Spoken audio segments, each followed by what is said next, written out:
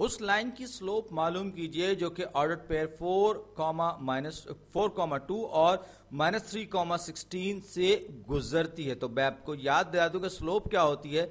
Slope होती है rise over run rise का मतलब होता है ऊपर उठना और रन का मतलब होता है दौड़ना, यानी कि आप डेल्टा वाई वाई की वैल्यू में जो तब्दीली आती है, उसको आप तकसीम करते हैं एक्स की वैल्यू में आने वाली तब्दीली से। और ये जो तिकोन सा बना है, इसका मतलब है डेल्टा और डेल्टा का मतलब होता है चेंज और आप इसको थोड़ा सा और पेचीदा करके लिख सकते हैं कि, और हाँ इसमें एक चीज़ है कि इसको एम से भी ज़ाहिर करते हैं एम ज़ाहिर बात है किसी स्ट्रेट लाइन के लिए कांस्टेंट होता है और इस डेल्टा वाई को आप Y two minus Y one और डेल्टा एक्स को X two minus X one लिख सकते हैं। तो ये इसका मतलब क्या है? इसका मतलब ये है कि आपने दूसरे पॉइंट की वाई वैल्यू में से पहले पॉइंट की वाई वैल्यू को माइनस किया, उसको फिर आपने तकसीम कर ये हमारे पास आ गया डेल्टा वाई और इसी तरीके से एक्स की दूसरे पॉइंट की जो एक्स वैल्यू है, उसमें से आपने दूसरे पॉइंट की, पहले पॉइंट की x वैल्यू को माइनस किया तो आपके पास डेल्टा x आ गया। अब इन दोनों को डेल्टा वाई और डेल्टा एक्स करने के बाद आपको स्लोप जो है, वो मिल जाएगी, जिसको हम एम भी लिखते हैं। राइज ओवर रन भी लिखते हैं। राइज का मतलब होता है ऊपर उठना और रन का मतलब होता है उफाकी तौर पर यूँ ज़मीन पर दौड़ना। तो अब यहाँ पर हम यही कार्रवाई करेंगे स्लोप मालूम करने के लिए।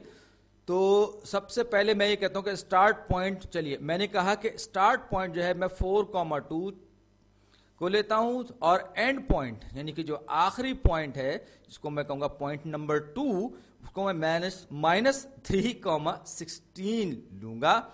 मैं चार से, जब मैं एक्स डायरेक्शन की बात करूँगा मैं चार से मनफी तीन की तरफ़ गया, यानी कि फोर से नेगेटिव थ्री की तरफ़ गया तो मुझे कितना तो मैं अगर आप गौर करें तो मैं दरअसल कितना, मेरा डेल्टा एक्स कितना हुआ?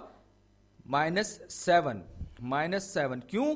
इसलिए कि माइनस थ्री, माइनस फोर, मैं इसको वाजे करके लिख दू, डेल्टा एक्स बराबर होता है, पॉइंट टू की एक्स वैल्यू में से हम माइनस कर देते हैं पॉइंट वन की एक्स वैल्यू को, जो कि यहाँ पर माइनस थ्री, माइनस फोर हो जाएगा। माइनस थ्री में से माइनस में से फोर निकालूँगा तो माइनस थ्री, माइनस फोर हो जाएगा, माइनस सेवन हो जाएगा, डेल्टा एक्स मेरे पास माइनस सेवन हो गया। बिल्कुल इसी तरह, अब अगर मुझे, मैंने एक्स तो वर्कआउट कर लिया, एक्स मालूम कर लिया तो अभी जो एंड पॉइंट है, एंड पॉइंट पर जो वाई की वैल्यू यूँ कहिए कि इस पॉइंट वन से, स्टार्ट पॉइंट वन से, जब मुझे पॉइंट टू पर पहुँचना तो वाई वैल्यू में क्या तब्दीली आएगी? तो मेरे पास वाई वैल्यू पहले पॉइंट की टू है, दूसरे पॉइंट की सिक्सटीन है तो जब मैं पहले से दूसरे पॉइंट पे जाऊँगा तो दूसरे पॉइंट की जो वाई वैल्यू है, उसमें से मैं पहले पॉइंट की वाई वैल्यू को माइनस कर दूँगा, जो कि 16 में से दो निकालेंगे 14 delta Y is equal to 14 हो जाएगा। तो अब delta Y over delta X ये किसके बराबर हो जाएगा? डेल्टा वाई मेरे पास है 14 जबकि डेल्टा एक्स मेरे पास है माइनस नेगेटिव सेवन मेरे पास है तो जब चौदह को मैं नेगेटिव सेवन से या चौदह को मनफी सात से तकसीम करूँगा तो मनफी दो मेरे पास आ जाएगा, यानी नेगेटिव टू आप इसको उलट भी कर सकते थे, आप इस पॉइंट को स्टार्टिंग और इसको एंडिंग पॉइंट बना सकते थे, यानी कि आप पॉइंट्स उलट देते तो ऐसी सूरत में भी ये वही की वही रहती जो स्लोप है, स्लोप पे कोई फ़र्क नहीं पड़ता। मैं इसको करके भी दिखा देता हूँ। पहला पॉइंट हमने कहा कि जी, अब हमारा पहला पॉइंट जो है नेगेटिव थ्री कॉमा सिक्सटीन है और दूसरा यानी कि एंड पॉइंट हमारे पास फोर कॉमा टू है। अब मैं नेगेटिव थ्री से फोर पे जा रहा हूँ तो अब मेरा डेल्टा एक्स क्या हो जाएगा? फोर चार में से मैं नेगेटिव थ्री निकालूँगा। तो फोर माइनस नेगेटिव थ्री चार नफी, मनफी तीन, चार जमा सात हो जाएगा। X two minus X one तो ये क्या हो जाएगा? ये हो जाएगा सेवन, पॉजिटिव सेवन। अब मैं यहाँ पर इसको मैंने, क्योंकि पॉइंट टू लिया है फोर कॉमा टू को सोलह से मैं दो पर जा रहा हूँ। तो अब मेरे पास जो वाई टू होगा, वो टू होगा टू माइनस या सिक्सटीन अब ये नेगेटिव 14 हो जाएगा, क्योंकि अब हम, हमारा जो राइस ओवर रन की अगर हम बात करें तो रन तो हमारा पॉजिटिव डायरेक्शन में होगा सेवन होगा, लेकिन राइस हमारा नेगेटिव 14 होगा, यानी अब हम ऊपर से नीचे की तरफ़ आ रहे हैं।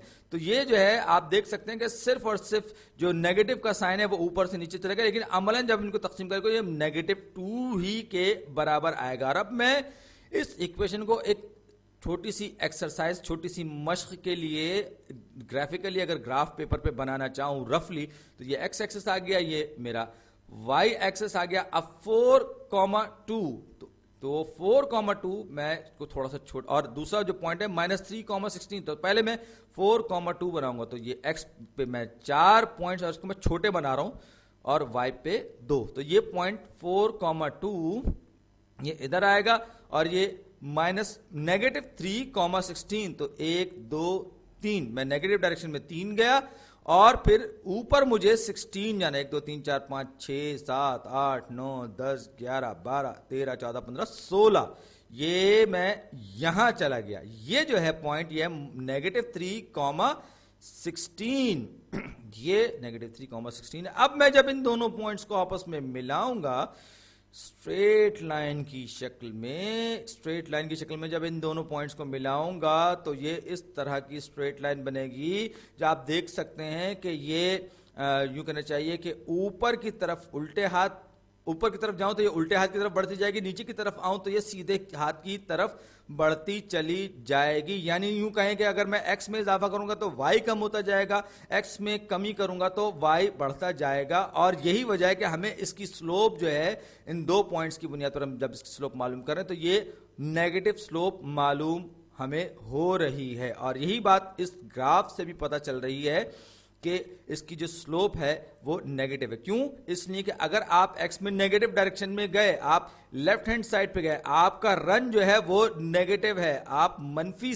में गए तो आपका राइज जो है, वो मुस्बत, यानी कि पॉजिटिव हो जाएगा। आप ऊपर उठना शुरू हो जाएँगे। चौदह, ये बात अगर आपने चार को पहला, चार फोर कॉमा टू को पहला और माइनस थ्री कॉमा सिक्स को दूसरा पॉइंट मान लिया। अब अगर आप कहते हैं कि नहीं, मैं जो है माइनस थ्री कॉमा सिक्सटीन से फोर कॉमा टू तक जाऊँगा तो इस पॉइंट तक पहुँचने के लिए पहले अगर आप एक्स डायरेक्शन में पॉजिटिव सेवन जाना होगा आपको, क्योंकि आप सीधे हाथ की तरफ़ जा रहे फिर आप नीचे उतर रहे होंगे।